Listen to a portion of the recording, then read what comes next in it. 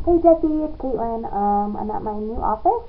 Um, as you can see, very nice. Um, I know it's your last day. I wanted to come and be there, but um, I'm super busy today and I can't make it over. Um, I hope you have a really, really fun day with the kids. And um, I just wanted to wish you good luck on your new adventure as a mom. I know you're going to be a great mom. Um, and I know the kids are really going to miss you when you're gone. Um, and I also think that you've left an awesome legacy in the Learning Center. Um, and I know that the Learning Center is better off because you were there.